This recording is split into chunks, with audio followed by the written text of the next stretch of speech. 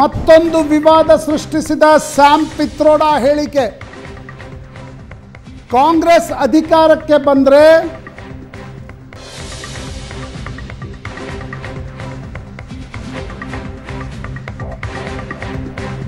ಭಾರತದಲ್ಲಿ death tax ಕಾನೂನು ಬೇಕು ಎಂದು ಹೇಳಿದ ಸ್ಯಾಮ್ ಪಿತ್ರೋಡ. ರಾಹುಲ್ ಗಾಂಧಿಯ ರೀಡಿಸ್ಟ್ರಿಬ್ಯೂಷನ್ ಆಫ್ ವೆಲ್ತ್ ಹೇಳಿಕೆಯ ನಂತರ ಈಗ ಸ್ಯಾಮ್ ಪಿತ್ರೋಡಾ ಹೇಳಿಕೆಯ ವಿವಾದ.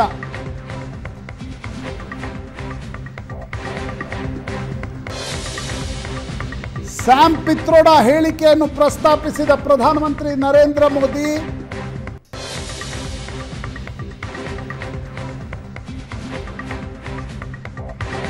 ನಿಮ್ಮ ಮಕ್ಕಳ ಹಕ್ಕು ಕಿತ್ತುಕೊಳ್ಳಲು ಕಾಂಗ್ರೆಸ್ ಪ್ರಯತ್ನಿಸುತ್ತಿದೆ ಎಂದ ಪ್ರಧಾನಮಂತ್ರಿ ನರೇಂದ್ರ ಮೋದಿ.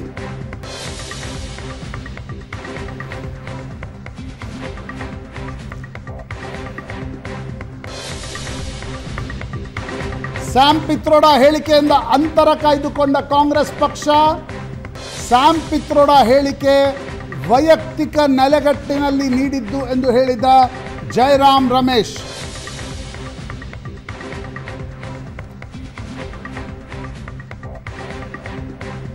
ಪಿತ್ರೋಡ ಹೇಳಿಕೆಯನ್ನ ಪ್ರಧಾನಮಂತ್ರಿ ನರೇಂದ್ರ ಮೋದಿ ಪ್ರಸ್ತಾಪಿಸುತ್ತಿದ್ದಂತೆ ಸಂಪತ್ತಿನ ಮರುಹಂಚಿಕೆ ಹೇಳಿಕೆಯಿಂದ ಕೂಡ ಯೂಟರ್ನ್ ಹೊಡೆದ ರಾಹುಲ್ ಗಾಂಧಿ.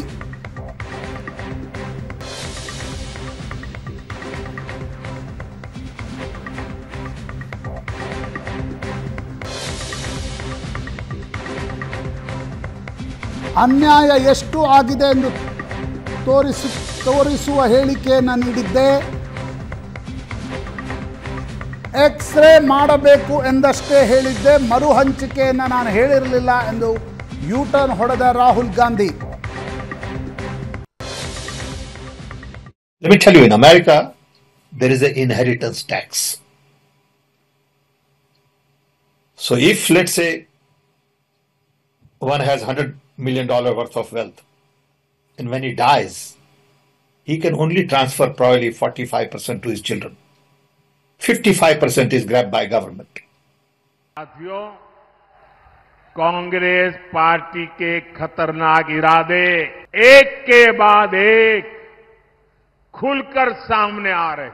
शाही परिवार के शाहजादे के सलाहकार, इस शाहदी परिवार के शाहजादे के पिताजी के भी सलाहकार, उन्होंने कुछ समय पहले किया, कहा था, और ये परिवार उन्हीं की बात मानता है।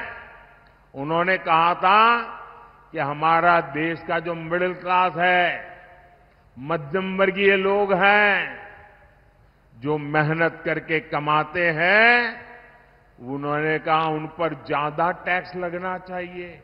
ये इन्होंने पब्लिकली कहा है। अब ये लोग उससे भी एक कदम आगे चले गए हैं। अब कांग्रेस का कहना है कि वो इनहेरिटेंस टैक्स लगाएगी। माता पिता से मिलने वाली विरासत पर भी टैक्स लगाएगी। आप जो अपनी मेहनत से संपत्ति जुटाते हैं, वो आपके बच्चों को नहीं मिलेगी, बल्कि कांग्रेस सरकार का पंजा उसे भी आपसे छीन लेगा। यानी कांग्रेस का मंत्र है, कांग्रेस की लूट। कांग्रेस का मंत्र है, कांग्रेस की लूट। ज़िंदगी के साथ भी और ज़िंदगी के बाद भी जब तक आप जीवित रहेंगे, कांग्रेस आपको ज़्यादा टैक्स से मारेगी। और जब आप जीवित नहीं रहेंगे तो आप पर इनहेरिटेंस टैक्स का बोझ लाद देगी। जिन लोगों ने पूरी कांग्रेस पार्टी पैतृक संपत्ति मानकर अपने बच्चों को दे दी, वो लोग नहीं चाहते कि एक सामान्य भारतीय अपने बच्चों को अपनी संपत्ति दे। मुझे इंटरेस्ट न्याय में है। मैं सिर्फ़ मैं सिर्फ़ ये कह रहा हूँ, मैं सिर्फ़ ये कह रहा हूँ कि हिंदुस्तान में आज 90 परसेंट के साथ अन्याय हो रहा है। भयंकर अन्याय हो रहा है। अब मैंने अब मैंने यह भी नहीं कहा, आज तक मैंने यह भी नहीं कहा, मैंने सिर्फ़ यह कहा है कि देखिए यह पता लगाते हैं कि कितना अन्याय हो रहा है। इसका तो कोई एतराज़ नहीं होना चाहिए। अगर आपको चोट लगे, और मैं आपसे कहूँ कि देखिए, इनको चोट लगी है, एक्सरे करा लीजिए तो एक्सरे से किसी को इतराज तो नहीं होना चाहिए ना। मगर आप देखिए, नेशनल मीडिया को देखिए, नरेंद्र मोदी को देखिए, जैसे ही मैंने एक्सरे की, का शब्द प्रयोग किया, मैंने सिर्फ़ यह कहा कि टेस्ट करते हैं, अन्याय कितना है। सारे के सारे खड़े हो गए। देश को तोड़ने की कोशिश हो रही है। देश को बांटने की कोशिश हो रही है। एक्सरे से क्या बटेगा, कैसे बटेगा? एक्सरे से सिर्फ़ 90 परसेंट को यह पता लगेगा कि उनकी भागीदारी कितनी है। सारे के सारे देशभक्तों को यह अच्छा लगना चाहिए। देशभक्त क्या चाहता है? देशभक्त देश में न्याय चाहता है। देशभक्त देशभक्त अन्याय थोड़ी चाह सकता है। ಇದೇ ವಿಷಯದ ಬಗ್ಗೆ ಇವತ್ತು ಮಾತಾಡ್ತೀವಿ. ಹಲವು ಜನ ಗಣ್ಯರು ನಮ್ಮ ಜೊತೆಗಿರ್ತಾರೆ. ನನ್ನ ಕೊಲೀಗ ಪ್ರಶಾಂತ್ ನಾಥು ಇದ್ದಾರೆ. ಪ್ರಶಾಂತ್ ಕಾರ್ಯಕ್ರಮಕ್ಕೆ ಸ್ವಾಗತ ತಮಗೆ. ಚಂದ್ರಶೇಖರ್ ಬಿಜೆಪಿಯಿಂದ ಇದ್ದಾರೆ. ಕಾರ್ಯಕ್ರಮಕ್ಕೆ ಸ್ವಾಗತ. ಚಂದ್ರಶೇಖರ್ ಅಬ್ದುಲ್ ರಜಾ ಖಾನ್ ಅವರಿದ್ದಾರೆ. ಕಾರ್ಯಕ್ರಮಕ್ಕೆ ನಿಮಗೂ ಕೂಡ ಸ್ವಾಗತ. ಈ ಚರ್ಚೆಗೆ ಕಾಂಗ್ರೆಸ್ ಅತಿಥಿಗಳನ್ನು ಕಳಿಸದೇ ಇರುವ ತೀರ್ಮಾನಕ್ಕೆ ಬಂದಿದೆ. ವಕ್ತಾರರನ್ನು ಕಳಿಸದೇ ಇರುವ ತೀರ್ಮಾನಕ್ಕೆ ಬಂದಿದೆ. ಪ್ರಶಾಂತ್, ಇದು ನಿಲ್ಲೋ ಹಂಗೆ ಕಾಣಿಸ್ತಿಲ್ಲ. ಚರ್ಚೆ ಈ ಹಂತದಲ್ಲಿ ಹೋಗ್ತಿರುವಾಗ ಸ್ಯಾಮ್ ಪೆಟ್ರೋಡಾಗಿ ಇದು ಬೇಡವಾಗಿತ್ತೇನು. ಇನ್ಹೆರಿಟೆನ್ಸ್ ಟ್ಯಾಕ್ಸಿನ ಉದಾಹರಣೆಯನ್ನು ಕೊಡೋದು. ಅಜಿತ್ ನಾವು ಮೊನ್ನೆಯಿಂದ ರಾಹುಲ್ ಗಾಂಧಿ ರೀಡಿಸ್ಟ್ರಿಬ್ಯೂಷನ್ ಆಫ್ ವೆಲ್ತ್ಗೆ ಸಂಬಂಧಪಟ್ಟಿರ್ತಕ್ಕಂಥ ಹೇಳಿಕೆ ಕೊಟ್ಟ ನಂತರ ಇದನ್ನು ರಾಹುಲ್ ಗಾಂಧಿಗೆ ಸಲಹೆ ನೀಡಿದ್ದು ಯಾರು ಅಂತಕ್ಕಂಥದ್ರ ಬಗ್ಗೆ ಚರ್ಚೆ ಯಾರು ಸಲಹೆಯನ್ನು ನೀಡಿರ್ಬೋದು ನಂತರ ಯಾಕೆ ಇದನ್ನು ಕಾಂಗ್ರೆಸ್ನ ಪ್ರಣಾಳಿಕೆಯಲ್ಲಿ ಅಧಿಕೃತವಾಗಿ ಸೇರಿಸಲಾಗಲಿಲ್ಲ? ಫೈನಾನ್ಷಿಯಲ್ ಮತ್ತು ಇನ್ಸ್ಟಿಟ್ಯೂಷನಲ್ ಸರ್ವೆ ನಡೆಸಬೇಕು ಅಂತಕ್ಕಂಥದ್ದನ್ನು ಏನು ರಾಹುಲ್ ಗಾಂಧಿ ಹೇಳಿದರು? ಇದರ ಒಟ್ಟು ಅರ್ಥ ಏನು ಅಂತಕ್ಕಂಥದ್ರ ಬಗ್ಗೆ ಚರ್ಚೆ ನಡೀತಾ ಇತ್ತು. ಈಗ ಸ್ಯಾಮ್ ಪಿತ್ರೋಡ ನೀಡಿರ್ತಕ್ಕಂತಹ ಏನೊಂದು ಸಂದರ್ಶನ ಇದೆ. ಅದರಲ್ಲಿ ಇನ್ಹೆರಿಟೆನ್ಸ್ ಟ್ಯಾಕ್ಸ್ ಬಗ್ಗೆ ಅವರೊಂದು ಟ್ವೀಟನ್ನು ಕೂಡ ಮಾಡಿದ್ದಾರೆ. ಅಮೇರಿಕಾದ ಕೆಲ ರಾಜ್ಯಗಳಲ್ಲಿ ಏನು ಇನ್ಹೆರಿಟೆನ್ಸ್ ಟ್ಯಾಕ್ಸ್ ಇದೆ. ಅದನ್ನು ಜಾರಿಗೊಳಿಸಬೇಕು ಅಂತಕ್ಕಂಥದ್ದನ್ನು ಸ್ಯಾಮ್ ಪಿತ್ರೋಡ ಹೇಳಿದರು. ಎಸ್ ಸಹಜವಾಗಿ ಸ್ಯಾಮ್ ಪಿತ್ರೋಡ ಮತ್ತು ರಾಹುಲ್ ಗಾಂಧಿ ನಡುವೆ ಇರತಕ್ಕಂಥ ಸಂಬಂಧಗಳು ಅವು ಭಾವನಾತ್ಮಕ ಸಂಬಂಧಗಳನ್ನು ಕೂಡ ಗಣನೆಗೆ ತೆಗೆದುಕೊಂಡಾಗ ರಾಹುಲ್ ಗಾಂಧಿಗೆ ಈ ಒಂದು ಐಡಿಯಾ ಬಂದಿದ್ದು ಸ್ಯಾಮ್ ಪಿತ್ರೋಡಾರಿಂದ ಅಂತಕ್ಕಂಥದ್ದು ಸ್ಪಷ್ಟವಾಯಿತು. ಇನ್ಹೆರಿಟೆನ್ಸ್ ಟ್ಯಾಕ್ಸ್ ಮೊದಲು ಭಾರತದಲ್ಲೂ ಕೂಡ ಇತ್ತು. ಎಸ್ಟೇಟ್ ಟ್ಯಾಕ್ಸ್ ಅಂತ ಅದನ್ನು ಕರೀಲಾಗ್ತಿತ್ತು. ಕೋಇನ್ಸಿಡೆಂಟಲಿ ಕಾಕತಾಳೀಯವೆಂಬಂತೆ ಅದನ್ನು ಅಬಾಲಿಷ್ ಮಾಡಿದ್ದು ರಾಹುಲ್ ಗಾಂಧಿಯವರ ತಂದೆ ರಾಜೀವ್ ಗಾಂಧಿ. ಸ್ಯಾಮ್ ಪಿತ್ರೋಡಾ ಆಗ ರಾಜೀವ್ ಗಾಂಧಿಗೆ ಸಲಹಾಗಾರರಾಗಿದ್ದರು ಮಿತ್ರರು ಕೂಡ ಆಗಿದ್ದರು ಆಗಲೇ ಈ ಒಂದು ಎಸ್ಟೇಟ್ ಟ್ಯಾಕ್ಸನ್ನು ತೆಗೆದು ಹಾಕಲಾಯಿತು ಕಾರಣ ಇಷ್ಟೇ, ಇದೇನು ಗೋಲನ್ನು ರೀಚ್ ಮಾಡಬೇಕಿತ್ತು, ಅದು ರೀಚ್ ಮಾಡಲಿಲ್ಲ ಅಂತಕ್ಕಂಥದ್ದು. ಈಗ ಇನ್ಹೆರಿಟೆನ್ಸ್ ಟ್ಯಾಕ್ಸ್ ಬೇರೆ ಬೇರೆ ದೇಶಗಳಲ್ಲಿ ಅಸ್ತಿತ್ವದಲ್ಲಿಲ್ವಾ? ಇದೆ. ಅಮೇರಿಕಾದಲ್ಲಿ ಒಂದು ಐದಾರು ರಾಜ್ಯಗಳಲ್ಲಿ ಇದೆ. ಅದು New Jersey Iowa Kentucky, Maryland, ಇಂಥ ರಾಜ್ಯಗಳಲ್ಲಿ ಇನ್ಹೆರಿಟೆನ್ಸ್ ಟ್ಯಾಕ್ಸ್ ಇದೆ. ವೇರಿಯಿಂಗ್ ಡಿಗ್ರಿಯಲ್ಲಿದೆ ಐವತ್ತೈದು ಪರ್ಸೆಂಟ್ವರೆಗಿದೆ ಜಪಾನ್ದಲ್ಲಿದೆ, ಸೌತ್ ಕೊರಿಯಾದಲ್ಲಿ ಇನ್ಹೆರಿಟೆನ್ಸ್ ಟ್ಯಾಕ್ಸ್ ಇದೆ. ಅದನ್ನು ಭಾರತಕ್ಕೆ ತರಬೇಕು ಅಂತಕ್ಕಂಥದ್ದು ಸ್ಯಾಮ್ ಪಿತ್ರೋಡಾ ಹೇಳಿಕೆ. ಯಾವಾಗ ಪ್ರಧಾನಮಂತ್ರಿ ನರೇಂದ್ರ ಮೋದಿ ಸ್ಯಾಮ್ ಪಿತ್ರೋಡಾಡ ಹೇಳಿಕೆಯನ್ನು ಸಾರ್ವಜನಿಕ ಭಾಷಣದಲ್ಲಿ ಪ್ರಸ್ತಾಪಿಸಿದ್ರು, ಸ್ಯಾಮ್ ಪಿತ್ರೋಡಾರ ಹೇಳಿಕೆಯಿಂದ ಕಾಂಗ್ರೆಸ್ ಅಂತರವನ್ನು ಕಾಯ್ದುಕೊಳ್ತಾ ಇದೆ. ಅದು ಅವರ ವೈಯಕ್ತಿಕ ಹೇಳಿಕೆ ಅಂತಕ್ಕಂಥದ್ದು. ಆದರೆ ಸ್ಯಾಮ್ ಪಿತ್ರೋಡಾ ಏನು ಹೇಳಿದ್ದಾರೆ? ಇದರ ಬಗ್ಗೆ ಚರ್ಚೆ ಆಗಬೇಕು. ಪೊಲಿಟಿಕಲಿ ಇದು ಒಂದು ಚರ್ಚೆ ಆಗಬೇಕಾಗಿರ್ತಕ್ಕಂಥ ನನಗಿಷ್ಟ ಈ ಥರದ ಕಾನೂನು ಅಂತಂದು ಇಷ್ಟ ಕಾನೂನು ನೋಡಿ ಪ್ರಜಾಪ್ರಭುತ್ವದಲ್ಲಿ ಯಾರೂ ಕೂಡ ತಮಗೆ ಒಂದು ಯಾವುದೋ ದೇಶದಲ್ಲಿ ಐಡಿಯಾ ಬಂದರೆ ಅದನ್ನು ಹೇಳಲಿಕ್ಕೆ ಅವ್ರಿಗೆ ಅಧಿಕಾರ ಇದೆ. ಆದರೆ ಯಾವ ಪಾರ್ಟಿಯ ಪರವಾಗಿ ಇದನ್ನು ಹೇಳ್ತಾ ಇದ್ದೀರಿ ಅಂತಕ್ಕಂಥದ್ದು ಬಹಳ ಮುಖ್ಯ ಆಗುತ್ತೆ. ಎಸ್ ನೀವು ರಾಜಕೀಯವಾಗಿ ಪಂಡಿತ್ ನೆಹರೂರ ನಂತರ ಗಾಂಧಿ ಕುಟುಂಬ ಕಾಂಗ್ರೆಸ್ ಪಕ್ಷದ ಮೇಲಿನ ಸ್ವಾಮ್ಯತೆಯನ್ನು ಬಿಟ್ಕೊಡ್ಲಿಕ್ಕೆ ತಯಾರಿಲ್ಲ. ಅಂಥ ಪರಿಸ್ಥಿತಿ ಅಂದರೆ ನಾನು ಹೇಳೋದು ವಾಕ್ ದ ಟಾಕ್ ಮಾಡಿ. ಅಂಥ ಪರಿಸ್ಥಿತಿಯಲ್ಲಿ ನೀವು ಈ ಒಂದು ಇನ್ಹೆರಿಟೆನ್ಸ್ ಟ್ಯಾಕ್ಸ್ ಬಗ್ಗೆ ಮಾತನಾಡ್ತಾ ಇದ್ದೀರಿ. ಸರಿಯಪ್ಪ ಐವತ್ತೈದು ಪರ್ಸೆಂಟ್ ಆದರೂ ಬಿಟ್ಕೊಡಿ. ನೀವು ಅದನ್ನು ಅಲ್ವಾ? ಆ ಟ್ಯಾಕ್ಸ್ ರೇಷಿಯೋದಲ್ಲಿ ಹೇಳಿದೆ. ನಂಬರ್ ಒನ್ ನಂಬರ್ ಟು ಇವತ್ತಿನ ನಮ್ಮ ಆರ್ಥಿಕ ವ್ಯವಸ್ಥೆಯಲ್ಲಿ ಈ ರೀತಿಯ ಇನ್ಹೆರಿಟೆನ್ಸ್ ಟ್ಯಾಕ್ಸ್ ಸರಿ ಅದು ಈಗ ಮೋದಿ ಅದನ್ನು ತುಂಬ ಸಿಂಪ್ಲಿಫೈ ಮಾಡಿ ಹೇಳ್ತಾ ಇದ್ದಾರೆ. ಪ್ರತಿಯೊಬ್ಬನಿಗೂ ಜಾರಿ ಬರುತ್ತೆ ಅಂತದ್ದು. ಹಾಗೆ ಜಾರಿ ಬರಲಿಕ್ಕೆ ಸಾಧ್ಯ ಇಲ್ಲ ಅದು. ಅದು ನೂರು ಕೋಟಿ ಎರಡು ನೂರು ಕೋಟಿ ಮುನ್ನೂರು ಕೋಟಿ. ಆದರೆ ಈಗ ಅನೇಕರ ಫ್ಯಾಮಿಲಿ ಬಿಸ್ನೆಸ್ಗಳಿವೆ. ನೀವು ಒಂದು ವೇಳೆ ತಂದರು ಅಂತ ಅಂದ್ಕೊಳ್ಳೋಣ ಅದರ ಕಥೆಯೇನು ನಂಬರ್ ಒನ್ ನಂಬರ್ ಟು ಪ್ರತಿಯೊಬ್ಬ ಮನುಷ್ಯ ಪ್ರಶಾಂತ್ ನಾಥು ಅಜಿತ್ ಹನ್ಮಕ್ನವರ್ ಅಬ್ದುಲ್ ರಜಾ ಖಾನ್ ಆದಿಯಾಗಿ ಪ್ರತಿಯೊಬ್ಬರೂ ಕೂಡ ದುಡಿಯೋದು ಯಾತಕ್ಕೆ? ಮಕ್ಕಳಿಗೋಸ್ಕರ. ಅಲ್ಲ ಮಕ್ಕಳಿಗೋಸ್ಕರ. That is one of the motivation ಇತ್ತೀಚಿನ ಇಪ್ಪತ್ತ್ ಮೂವತ್ತು ವರ್ಷಗಳಲ್ಲಿ ನಾವು ಸ್ವಲ್ಪ ಮಜಾ ಮಾಡೋಣ ನಮ್ಮ ತಂದೆ ತಾಯಿಯಂದ್ರ ಕಾಲದಲ್ಲಿ ಪಾಪ ಗ ದುಡ್ ದುಡಿದಿದ್ದೆಲ್ಲವನ್ನು ಮಕ್ಕಳಿಗೆ ಗಳಿಸಿಟ್ಟು ಹೋಗಬೇಕು ಅಂತಕ್ಕಂಥ ಕಾನ್ಸೆಪ್ಟ್ನಲ್ಲಿ ಇರ್ತಿದ್ರು. ತಾವು ಫಿಗಾಯಿಲ್ ಜೀವನವನ್ನು ತಾವು ಅತ್ಯಂತ ಸರಳ ಜೀವನವನ್ನು ಸಾಧಿಸ್ತಿದ್ರು. ಮಕ್ಕಳು ಸ್ವಲ್ಪ ಉರಿಲಿ ಅಂತಕ್ಕಂಥದ್ದಿತ್ತು. ಬಟ್ ಇವತ್ತಿನ ನಮ್ಮ ಜನ್ರೇಷನ್ನಲ್ಲಿ ಸರಿ ನಾವು ಕೂಡ ಸ್ವಲ್ಪ ಮಜಾ ಮಾಡೋಣ ಮಕ್ಕಳಿಗೂ ಉಳಿಸ್ ಹೋಗೋಣ ಅಂತ. ಇನ್ನು ಕೆಲವೊಬ್ರು ಇರ್ತಾರೆ ಅತಿ ಆಸೆಯವರು ಹತ್ತತ್ತು ತಲೆಮಾರಿಗೆ ನಾವು ಈಗಲೇ ಗಳಿಸ್ಬೇಕು ಅಂತಕ್ಕಂಥ ಆತುರತೆಯಲ್ಲಿ ಇರ್ತಾರೆ ಮಾಡಬಾರದನ್ನೆಲ್ಲ ಮಾಡ್ತಾರೆ. ಇನ್ಹೆರಿಟೆನ್ಸ್ ಟ್ಯಾಕ್ಸ್ ಇವತ್ತಿನ ಸಂದರ್ಭದಲ್ಲಿ ಪ್ರಾಕ್ಟಿಕಲಿ ಅಪ್ಲಿಕೇಬಲ್ ಆಗುತ್ತಾ ಅನ್ನೋದು ಒಂದು ದೊಡ್ಡ ಪ್ರಶ್ನೆ. ಸರಿ ಈಗ ನೋಡಲಿಕ್ಕೆ ಚೆನ್ನಾಗಿರುತ್ತೆ. ಸಾವಿರ ಕೋಟಿ ದುಡ್ದವರು ಅವ್ರ ಮೇಲಿನ ಎಲ್ಲ ಆಸ್ತಿ ಅವ್ರು ತೀರ್ಕೊಂಡಾಗ ಐವತ್ತೈದು ಪರ್ಸೆಂಟ್ ಸರ್ಕಾರ ತೆಗೆದುಕೊಳ್ಬೇಕು ಅಂತಕ್ಕಂಥದ್ದು. ನೋಡ್ಲಿಕ್ಕೆ ಚೆನ್ನಾಗಿದೆ ಬಟ್ ಪ್ರಾಕ್ಟಿಕಲಿ ಅದಾದಾಗ ನೀವು ಡಿಸ್ಇನ್ಸೆಂಟಿವೈಸ್ ಆಗುತ್ತೆ. ಇನ್ಸೆಂಟಿವೈಸ್ ಆಗಲ್ಲ ದುಡಿಯೋದಕ್ಕೆ ಇನ್ಸೆಂಟಿವ್ ಏನು? ಹಾಂ ಅದು ಅದು ಪ್ರಶ್ನೆ. ಹಾಗಾಗಿ ನನಗನ್ಸುತ್ತೆ ಈ ರೀಡಿಸ್ಟ್ರಿಬ್ಯೂಷನ್ ಆಫ್ ವೆಲ್ತ್ನ ಅದರ ಜೊತೆಗೆ ಐವತ್ತೈದು ಪರ್ಸೆಂಟ್ ಸರ್ಕಾರಕ್ಕೆ ಹೋಗುತ್ತೆ ಅಂದ್ರೆ ಭಾರತದಲ್ಲಿ ಯಾಕೆ?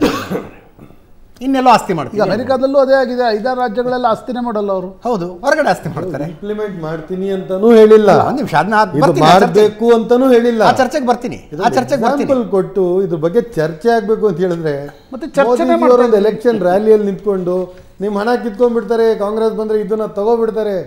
ಕಮಾನ್ ಅಜಿತ್ ಜಿ ಒಂದು ಹತ್ತು ವರ್ಷ ನೀವು ಆಡಳಿತ ನಡೀತು ನೀವೇನೇನು ಮಾಡಿದ್ದೀರಾ ಪ್ರಪಂಚದ ಅನೇಕ ಮುಂದುವರೆದ ದೇಶಗಳಲ್ಲಿ ಯೂನಿಫಾರ್ಮ್ ಸಿವಿಲ್ ಕೋಡ್ ಇದೆ. ಅದು ಬೇರೆ ವಿಷಯ. ಅದ್- ಚರ್ಚೆ ಮಾತು ಆಗ್ಬೇಕ್ರಿ. ಅದು ಚರ್ಚೆ ಆಗ್ಬೇಕು. ಈ ಮಾತು ಈ ಮಾತನ್ನ- ಪ್ರಧಾನಿ ಹತ್ತು ವರ್ಷ ಆಡಳಿತ ನಡೆದ ನಂತರ ನಮ್ಮ ಹತ್ತು ವರ್ಷಗಳಲ್ಲಿ ನಾವು ಈ ಸಾಧನೆಗಳನ್ನ ಸಾಧಿಸಿದೀವಿ ನೋಡಿ. ಮುಂದೆ ಐದು ವರ್ಷಗಳಲ್ಲಿ ಇದನ್ನೆಲ್ಲ ಮಾಡ್ತೀವಿ ನೋಡಿ. ಆ ಥರದ ಹೇಳಿಕೆ ಹೇಳ್ಬೇಕಾ? ಇಲ್ಲ. Sam Pitroda manifesto committee member ಇಲ್ಲ ಅವರು. ಅವರು ಒಂದು ಇಂಟರ್ವ್ಯೂ ಅಲ್ಲಿ ಒಂದು ಎಕ್ಸಾಂಪಲ್ ಕೊಟ್ಟವ್ರೆ. ನೋಡಿ ಎಕನಾಮಿಕ್ ಇಕ್ವಾಲಿಟಿಗೋಸ್ಕರ ಈ ಥರದ ಒಂದು ಇನ್ಹೆರಿಟೆಂಟ್ ಟ್ಯಾಕ್ಸು ಅಮೇರಿಕಾದಲ್ಲಿದೆ. ಅದನ್ನು ನಾವು ಡಿಸ್ಕಸ್ ಮಾಡಬೇಕು. Moreover it's a policy issue ಅದೇನು ಇವ್ರು ಹೇಳಕ್ ಬಿಟ್ರೆ ಟಕ್ಕಂತ ಕಾಂಗ್ರೆಸ್ ಆಗ್ಬಿಡುತ್ತೆ. ಕಮಾನ್ ಇವಾಗ ಮೋದಿಜಿ ಮಾಡ್ತಿರೋದೇನು ಅರ್ಥ ಆಗ್ತಿಲ್ವಾ? ವೈ ಇಸ್ ಆನ್ ಬ್ಯಾಕ್ಫೋರ್ಡ್ ಏನಕ್ಕೆ ಮೋದಿಜಿ ಇದನ್ನೆಲ್ಲ ಚರ್ಚೆ ಮಾಡ್ತಿದ್ರೆ? ಅದ್ರ ಬಗ್ಗೆ ಚರ್ಚೆ ಮಾಡಿ. ತುಂಬ ಇಂಟ್ರೆಸ್ಟಿಂಗ್ ಆಗುತ್ತೆ. ಯಾಕೆ ಹೇಳಿ? ಹತ್ತು ವರ್ಷದಲ್ಲಿ ಏನಾಯಿತು? ಏನಾಗಿದೆ? ಇವಾಗ ಪ್ರಶಾಂತ್ ಜಿ ತುಂಬ ಒಳ್ಳೆ ಮಾತು ಹೇಳಿದ್ರು. ನಮ್ಮ ಓಲ್ಡ್ ಜನ್ರೇಷನ್ ಏನು ಮಾಡ್ತಿತ್ತು ಅಂತ ಹೇಳಿದ್ರೆ, ನಮ್ಮ ಮಕ್ಕಳಿಗೋಸ್ಕರ ಅಂತ ಇತ್ತು- ಈ ಜನ್ರೇಷನಲ್ಲಿ ಹ್ಯಾಂಡ್ ಟು ಮೌತ್ ಫುಲ್ಫಿಲ್ ಆಗ್ತಾ ಇಲ್ಲ. ಯಾಕೆ? ದ ಡೆವಲಪ್ಮೆಂಟ್ ಈಸ್ ಸ್ಟ್ಯಾಗ್ನೆಂಟ್ ಯಾರಿಗೂ ಇಲ್ಲಿ ಉದ್ಯೋಗ ಇಲ್ಲ. ಯಾರು ಸೇವಿಂಗ್ಸ್ ಮಾಡ್ತಿದ್ದಾರೆ ಜಿತ್ ಇವತ್ತು? ಸರ್ಕಾರದಿಂದ ಹಿಡಿದು ಒಂದು ಪ್ಯೂನ್ ಕೆಲಸ ಮಾಡುವವರು ಕೂಡ ಇವತ್ತು ಸಮ್ವೇರ್ ಸಮ್ ಯಾವುದಾದ್ರೂ ಒಂದು ಕಡದ ಒಂದು ಡೆಟ್ ಅವ್ರ ಮೇಲೆ ಇದ್ದೇ ಇದೆ. ಇದರ ಕ್ರೆಡಿಟ್ ಕಾರ್ಡ್ ಇರ್ಬೋದು, ಇಲ್ಲ ಪರ್ಸನಲ್ ಲೋನ್ ಇರ್ಬೋದು, ಏನೋ ಒಂದು. ಯಾರು ಇವತ್ತು ಆಸ್ತಿಗಳು ಮಾಡ್ತಿದ್ದಾರೆ ಇವತ್ತು ಈ ಸಂದರ್ಭದಲ್ಲಿ? ಅಬ್ದುಲ್ ರಜಾಕ್ ನನಗೊಂದು ಅರ್ಥ ಆಗಲ್ಲ. ಪ್ರಧಾನಮಂತ್ರಿ ಇರಲಿ ಯಾರೇ ಇರಲಿ. ನೀವು ರಾಜಕೀಯ ಸಂವಾದ ಅಂದ್ರೆ ಏನು? ಸ್ಯಾಮ್ ಪಿತ್ರೋಡ ಗಾಂಧಿ ಕುಟುಂಬಕ್ಕೆ ಎಷ್ಟು ಹತ್ತಿರದ ಅಡ್ವೈಸರ್ ಅಂತ ಹೇಳ್ಬೋದು. ಇವತ್ತಿಗೂ ಕೂಡ ಐ ಟಿ advisor. ಕ್ರಾಂತಿಯನ್ನ ತಂದಿದ್ದು ಸ್ಯಾಮ್ ಪಿತ್ರೋಡರ ಸಲಹೆ ಮೇರೆಗೆ ಅಂತಕ್ಕಂಥದ್ದನ್ನ ಕಾಂಗ್ರೆಸ್ ಅನೇಕ ಬಾರಿ ನನ್ನ ಪರ್ಸನಲ್ ಅಭಿಪ್ರಾಯ ಏನು ಅಂತ ಹೇಳಿದ್ರೆ ಈ ಸಂದರ್ಭದಲ್ಲಿ ಈ ಮಾತು ಇವರು ಮಾಡ್ ಮಾತಾಡಬಾರ್ದಾಗಿತ್ತು.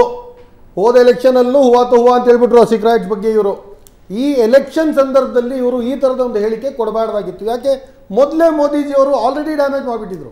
ಅದ್ರ ಮೇಲೆ it is more than the damage ಅಂತ ಹೇಳ್ಬೋದು ಇವಾಗ. ಯಾಕೆ ಅಂತ ಹೇಳಿದ್ರೆ ಅದು ಚಿನ್ನವನ್ನು ತೊಗೊಂಡ್ಬಿಡ್ತಾರೆ ಕಾಂಗ್ರೆಸ್ನವರು, ನಿಮ್ಮ ಮಂಗಲಸೂತ್ರವನ್ನು ತೊಗೊಂಡ್ಬಿಡ್ತಾರೆ ಅಂತ ಹೇಳೋ ಸಂದರ್ಭದಲ್ಲಿ ನೀವು ಇನ್ಹೆರಿಟೆನ್ಸ್ ಟ್ಯಾಕ್ಸ್ ಬಗ್ಗೆ ಮಾತಾಡಬಾರ್ದಾಗಿತ್ತು.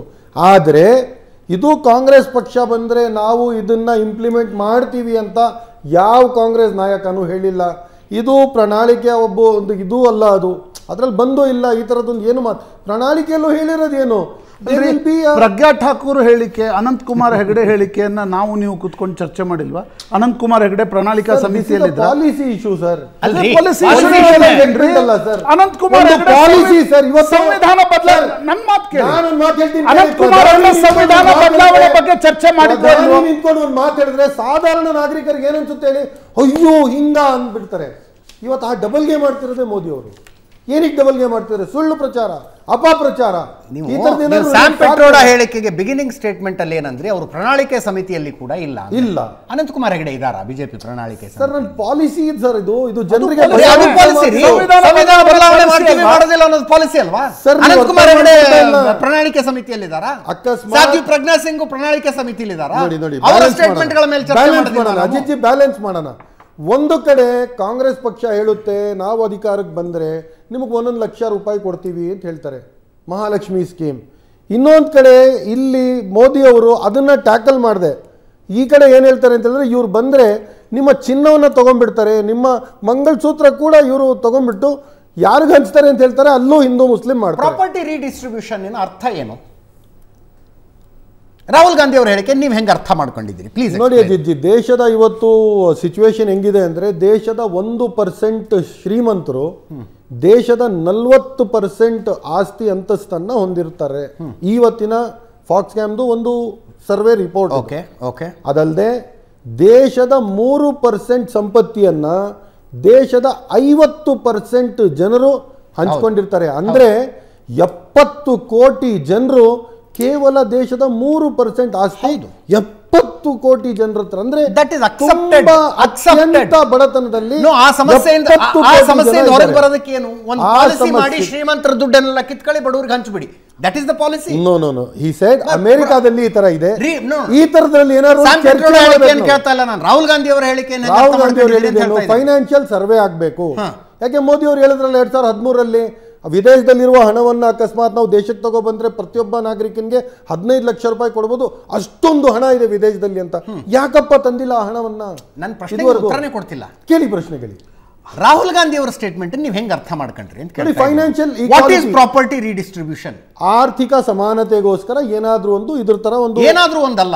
ಏನಾದ್ರೂ ಒಂದು ಚರ್ಚೆ. ಚರ್ಚೆಗಳಿರ್ತವೆ. ಒಂದು ಚರ್ಚೆ ಮಾಡಬೇಕು ಒಂದು ಲಾ ಒಂದು ಪಾಲಿಸಿ ತಗೋಬರಬೇಕು ಅಂತ ಹೇಳಿದ್ದಾರೆ ಅಷ್ಟೇ. ಏನು ಅದು? ಹೆಂಗೆ? ಅದನ್ನ ಹೇಳಿಲ್ಲ. ಹಾಗಂತ ನೀವು ಮಂಗಲಸೂತ್ರ ಕಿತ್ಕೊಂಡ್ಬಿಡ್ತಾರೆ ಅಂತ ಹೇಳೋಕ್ಕಾಗುತ್ತಾ?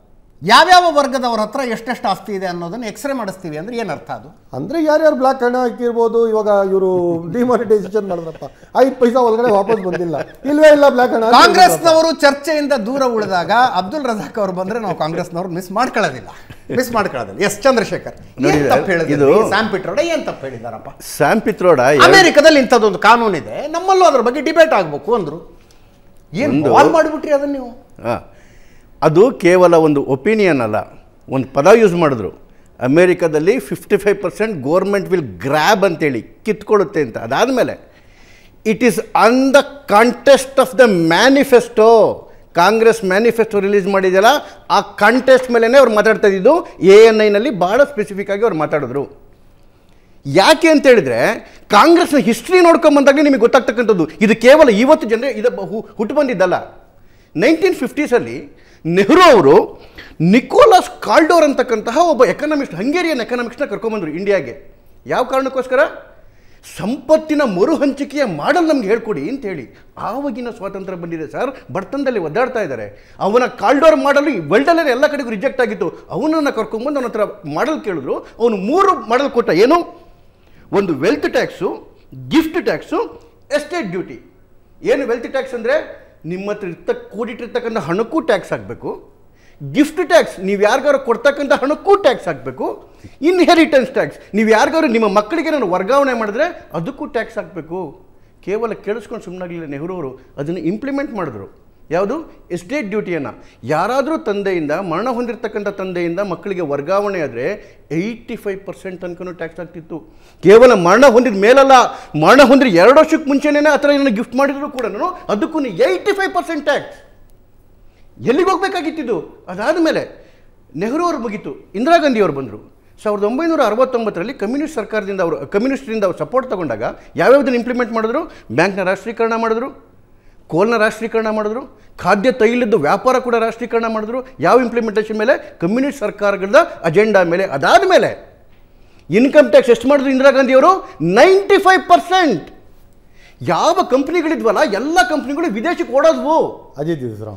ವಿದೇಶಕ್ಕೆ ಓಡೋದ್ವು ಒಂದು ನಿಮಿಷ. ಇದಾದ ಮೇಲೆ ನೋಡಿ ಎರಡೆರಡು ಟ್ಯಾಕ್ಸ್ ಕೂಡ ಉಳ್ಕೊಂತು. ಎರಡು ಸಾವಿರದ ಹದಿನಾರರಲ್ಲಿ ಮೋದಿಯವರು ಅಬಾಲಿಷ್ ಮಾಡಿದ್ದು ಯಾವುದು ಎರಡು ಟ್ಯಾಕ್ಸು ಒಂದು ವೆಲ್ತ್ ಟ್ಯಾಕ್ಸು ಅದ್ರ ಜೊತೆಗೆ ಎಸ್ಟೇಟ್ ಡ್ಯೂಟಿ ಸಾವಿರದ ಒಂಬೈನೂರ ರಾಜೀವ್ ಗಾಂಧಿ ಅವರು ಅಬಲಿಷ್ ಮಾಡಿದ್ರು. ಮೋದಿ- ಅದಕ್ಕೆ ಅದು ಎಷ್ಟು ಎಲ್ಲ ಮೋದಿ ಮಾಡಿದ್ದು, ವಿ ಪಿ ಸಿಂಗ್ ರೆಕಮೆಂಡ್ ಮಾಡಿದ್ದು ಅದನ್ನ ವಿ ಪಿ ಸಿಂಗ್ ಅವರು ಫೈನಾನ್ಸ್ ಮಿನಿಸ್ಟರ್ ಆಗಿದ್ದಾಗ ರೆಕಮೆಂಡ್ ಮಾಡಿ ನೈನ್ಟೀನ್ ಏಯ್ಟಿ ಫೈವ್ ಅಲ್ಲಿ ಅದು ಹೋಯ್ತು. ಅದು ಎರಡು ಟ್ಯಾಕ್ಸ್ಗಳು ಉಳ್ಕೊಂಡಿತ್ತು ಎರಡು ಸಾವಿರದ ಹದಿನಾರವರೆಗೂ. ಈವನ್ ವೆಲ್ತ್ ಟ್ಯಾಕ್ಸ್ ಕೂಡ. ಇದಾದ್ಮೇಲೆ ನೋಡಿ ಇಲ್ಲಿವರೆಗೂ ಫೈನಾನ್ಸ್ ಡಿಸ್ಟ್ರಿಬ್ಯೂಷನ್ ಯಾವ ರೀತಿ ಬರ್ತಾ ಇದೆ ಅಂತ ಹೇಳಿದ್ರೆ ರಾಹುಲ್ ಗಾಂಧಿಯವರ ಬಾಯಲ್ಲಿ ಬರ್ತಿರ್ತಕ್ಕಂಥ ಒಂದೊಂದು ಮಾತುಗಳನ್ನ ಕೇಳ್ಕೊಂಬನ್ನಿ ಯಾವ ಮಾತು ಮ್ಯಾನಿಫೆಸ್ಟೋದಲ್ಲಿದೆ ಅದೇ ಮಾತು ರಾಹುಲ್ ಗಾಂಧಿಯವರ ಬಾಯಲ್ಲೂ ಬರ್ತಿರ್ತಕ್ಕಂಥದ್ದು. ಇಂದಿರಾ ಗಾಂಧಿಯವರ ಬಾಯಲ್ಲೂ ಅದೇ ಬಂದಿತ್ತು ನೆಹರು ಅವರ ಬಾಯಲು ಅದೇ ಬಂದಿತ್ತು. ಇವತ್ತು ಡಿಸ್ಟ್ರಿಬ್ಯೂಟ್ ಮಾಡ್ತಿರೋದು ಯಾವ ವಿಷಯದಲ್ಲಿ? ಇನ್ನೊಂದು ತುಂಬ ಮ್ಯಾನಿಫೆಸ್ಟೋದಲ್ಲಿ ಹೇಳಿದ್ದಾರೆ. ಏನಂತ ಹೇಳಿದ್ರೆ ಮುಸ್ಲಿಂ ಪರ್ಸನಲ್ ಲಾ ಬೋರ್ಡ್ನ ಇದನ್ನ ಕೇಳಿಕೊಂಡೆ ನಾವು ಮಾಡೋದು. ಅದ್ರ ಅರ್ಥ ಏನು? ಮುಸ್ಲಿಮರಿಗೆ ಅವ್ರು ಅವ್ರು ಪರ್ಮಿಷನ್ ಕೊಟ್ಟರೆ ಮಾತ್ರ ಮುಟ್ತೀವಿ ಇಲ್ದಿದ್ರೆ ಮುಟ್ಟೋದಿಲ್ಲ. Is it clear hundred. Percent. ಇದ್ರ ಅರ್ಥ ಏನು? ಕೇವಲ ಹಿಂದೂಗಳದಷ್ಟೇನೆ ನೀವು ಕಂಪ್ಲೀಟ್ ಎಕ್ಸ್ಪ್ಲೈನ್ ಮಾಡ್ತೀರಿ. ಎಷ್ಟು ಟೂ ವೀಲರ್ ಇದೆ ಎಷ್ಟು ಫೋರ್ ವೀಲರ್ ಇದೆ ಎಷ್ಟು ಹಣ ಇದೆ ಒಂದು ಒಂದನ್ನೊಂದು ಮಿಕ್ಸ್ ಮಾಡ್ತಾ ಇದ್ದಾರೆ. ಅವರು ವೈಯಕ್ತಿಕ ಕಾನೂನುಗಳಲ್ಲಿ ಸುಧಾರಣೆ ತರುವುದಕ್ಕೆ ಮುಸ್ಲಿಂ ಸಮುದಾಯದ ಒಪ್ಪಿಗೆ ಪಡಿತೀವಿ ಅಂತ ಹೇಳಿ.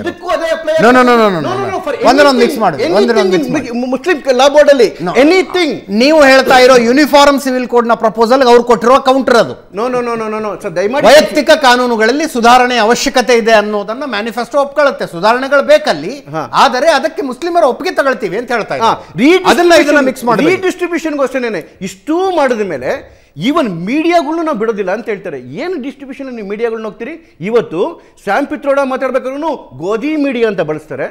ಅದಾದ್ಮೇಲೆ ರಾಹುಲ್ ಗಾಂಧಿ ಅವರು ಪ್ರೆಸ್ ಮೀಟ್ ಮಾಡಿಬಿಟ್ಟು ಈ ಮೀಡಿಯಾಗಳೆಲ್ಲ ಅದನ್ನು ತಿರ್ಸ್ತಾ ಇದ್ದೇವೆ ಅಂತ ಹೇಳ್ತಾರೆ. ಅಂದ್ರೆ ಮೀಡಿಯಾಗಳನ್ನೂ ಬಿಡಲ್ಲ ಇಂಡಸ್ಟ್ರಿಯಲಿಸ್ಟ್ನು ಬಿಡೋದಿಲ್ಲ. ಅದರರ್ಥ ಅರ್ಥ ಎರಡು ಮಕ್ಕಳಿರ್ತಕ್ಕಂತಹ ಒಬ್ಬ ವ್ಯಕ್ತಿ ಏನಾದರೂ ಒಂದು ಲಕ್ಷ ದುಡಿದ್ರೆ ಆರು ಏನು ಮಕ್ಕಳಿರ್ತಕ್ಕಂಥವ್ರಿಗೆ ಈಕ್ವಲ್ ಡಿಸ್ಟ್ರಿಬ್ಯೂಟ್ ಮಾಡಬೇಕು. ಇಪ್ಪತ್ತು ಸಾವಿರ ದುಡಿತಿದ್ರು ಇದ್ರ ಅರ್ಥ ಏನು?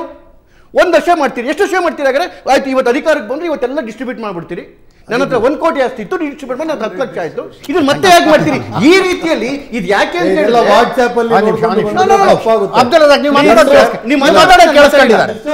ಮಾತಾಡೋದು ಕೇಳಿಸ್ಕೊಂಡಿದ್ದಾರೆ. ಅವ್ರ ಮಾತು ನೀವು ಕೌಂಟರ್ ಮಾಡಿರ ನೀವು ಕೌಂಟರ್ ಮಾಡ್ರಿ ಅದನ್ನ. ವಾಟ್ ಟ್ವೆಂಟಿ ತೌಸಂಡ್ ಕೌಂಟರ್ ಮಾಡಿ ಮಾತು ಅವ್ರ ಮಾತು ಅಬ್ದುಲ್ ರಜಾಕ್ ಪ್ಲೀಸ್ ಅಮೇರಿಕಾದಲ್ಲಿ ಇದು ಯಾಕೆ ಸಕ್ಸಸ್ ಆಗ್ತಿತ್ತು ಅಂದರೆ ಅಮೇರಿಕಾದಲ್ಲೂ ಕೂಡ ಕೇವಲ ಆರ್ ಸ್ಟೇಟಲ್ಲಿ ಮಾತಾಡೋದು ಎಲ್ಲ ಸ್ಟೇಟಲ್ಲಿ ಇಲ್ಲ. ಅಮೇರಿಕಾದಲ್ಲಿ ಇಡೀ ಏನು ಫ್ಯಾಮಿಲಿ ಮೇಂಟೆನೆನ್ಸನ್ನು ಆಲ್ಮೋಸ್ಟ್ ಸರ್ಕಾರವೇ ನೋಡ್ಕೊಳ್ಳುತ್ತೆ. ಒಬ್ಬ ವ್ಯಕ್ತಿಯ ಮೇಲೆ ಆಲ್ಮೋಸ್ಟ್ ಹತ್ತೊಂಬತ್ತುವರೆ ಸಾವಿರ ಡಾಲರ್ ಅಂದರೆ ಹದಿನಾರೂವರೆ ಲಕ್ಷದಿಂದ ಹದಿನೇಳು ಲಕ್ಷ ರೂಪಾಯಿ ವ್ಯಕ್ತಿಗೆ ಅಂದರೆ ಒಂದು ಕುಟುಂಬಕ್ಕೆ, ಒಂದು ವರ್ಷಕ್ಕೆ ಅರವತ್ತೆಂಟು ಲಕ್ಷ ಖರ್ಚು ಮಾಡುತ್ತೆ. ಆವಾಗ ಸರ್ಕಾರಕ್ಕೆ ಹಕ್ಕಿರುತ್ತೆ. ಆ ಕುಟುಂಬ ಪದ್ಧತಿ ಭಾರತದಲ್ಲಿಲ್ಲ. ಭಾರತದ ಕುಟುಂಬಗಳು ಯಾವತ್ತೂ ಸರ್ಕಾರದ ಮೇಲೆ ಡಿಪೆಂಡ್ ಆಗಿಲ್ಲ. ಅದೇ ಹೇಳ್ತಿದ್ದಾರೆ ರೀ ಒಂದು ಲಕ್ಷ ಕೊಡ್ತೀವಿ ಕುಟುಂಬಕ್ಕೆ ಅಂತ ಬಡತನ ರೇಖೆಗಿಂತ ಕೆಳಗಿರೋದು ಅದೇ ಸೋಷಿಯಲ್ ಎಪ್ಪತ್ತೆರಡು ಸಾವಿರ ಅಂತ ಹೇಳಿದ್ರು. ಹೀಗಾಗಿ ಯಾವ ಇದೆಲ್ಲ ಅಲ್ಲಿ ಹೇಳಿದ್ದಾರೆ ಪಿತ್ರೋಡ ಅವರು ಇದನ್ನೇನು ಫ್ಲೂಕ್ ಆಗಿ ಬಂದಿರೋದಲ್ಲ ಅಥವಾ ಒಪಿನಿಯನ್ ಅಲ್ಲ? ಇದರ ಹಿಂದೆ ಒಂದು ಕಂಟೆಸ್ಟ್ ಇದೆ ಮ್ಯಾನಿಫೆಸ್ಟೋ ಕೂಡ ಇದೆ ಕಾಂಗ್ರೆಸ್ನ ಹಿಸ್ಟ್ರಿ ಕೂಡ ಇದೆ. ಹಾಗಾಗಿ ಇವ್ರು ತಗೊಳ್ಳೋದು ಇವತ್ತು ವಿರೋಧ ಬಂತು ಅಂತ ಎಸ್ಕೇಪ್ ಆಗ್ತಿದ್ರೆ ಬಿಟ್ರೆ ವಿರೋಧ ಬರ್ದೇ ಇದ್ದಿದ್ರೆ ಇದನ್ನ ಇಂಪ್ಲಿಮೆಂಟ್ ಮಾಡ್ತಾ ಇದ್ರು. ಇದೇ ಸಾಮ್ ಪಿತ್ರೋಡ ಹೇಳಿದ್ದು. ರಾಜೀವ್ ಗಾಂಧಿ ಅವರು ನನ್ನಿಂದ ಕಂಪ್ಯೂಟರ್ ತಗೊಂಡ್ಬಂದ್ರು ಅಂತೇಳಿ. ರಾಜೀವ್ ಗಾಂಧಿ ಬಂದಿದ್ದು ಯಾವಾಗ? ನೈನ್ಟೀನ್ ಸಿಕ್ಸ್ಟಿ ಏಟ್ ಅಲ್ಲಿ ಇನ್ಫೋಸಿಸ್ ಓಪನ್ ಆಗಿತ್ತು. ನೈನ್ಟೀನ್ ಸಿಕ್ಸ್ಟೀಸ್ ಅಲ್ಲಿ ಟಿ ಸಿ ಎಸ್ ಇತ್ತು. ರಾಜೀವ್ ಗಾಂಧಿ ಬಂದಿತ್ತು. ಎಂಬತ್ನಾಲ್ಕರಲ್ಲಿ. ಅದಕ್ಕಿಂತ ಇಪ್ಪತ್ತು ವರ್ಷಕ್ಕೆ ಮುಂಚೆನೆ ಕಂಪ್ಯೂಟರ್ಗಳು ಬಂದಿತ್ತು. ಈ ರೀತಿ ಯಾವ ಶ್ಯಾಮ್ ಪಿತ್ರೋಡನ ಮಾತುಗಳನ್ನ ವೇದ ವಾಕ್ಯ ಅಂತ ಹೇಳಿ ರಾಜೀವ್ ಗಾಂಧಿ ಆಗ್ಲಿ ಅಥವಾ ಕಾಂಗ್ರೆಸ್ ಸರ್ಕಾರ ಆಗಲಿ ಇಂಪ್ಲಿಮೆಂಟ್ ಮಾಡ್ಕೊಂಡ್ ಬಂದಿದ್ದಾವೆ. ಇವತ್ತು ಕೂಡ ಇಂಪ್ಲಿಮೆಂಟ್ ಆಗೇ ಆಗೋದು. ಮುಂದೆ ಬಂದರೂ ಕೂಡ ಆಗೋದಿಲ್ಲ ಅಂತಕ್ಕಂಥ ಯಾವುದೇ ಅನುಮಾನ ಇಲ್ಲ.